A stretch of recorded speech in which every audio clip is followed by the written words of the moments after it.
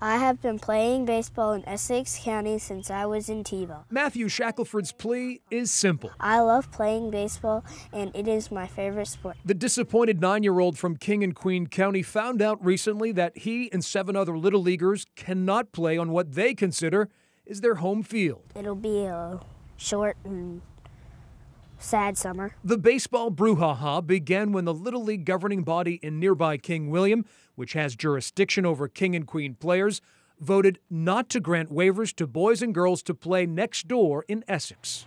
Little League Baseball that is supposed to be a good experience for the children, and it has turned into a nightmare. Sandra White says no waivers mean parents like herself will need to drive 40 minutes across King William instead of 10 minutes to Essex, as they have for years.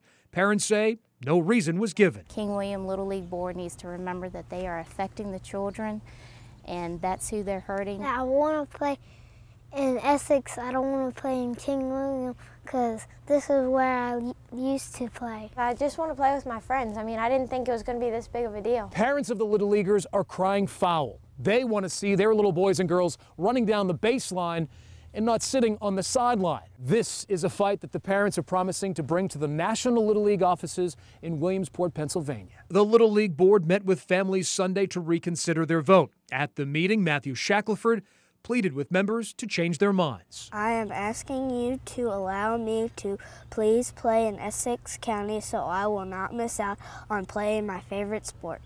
In Essex County, I'm Greg McQuade, CBS 6 News.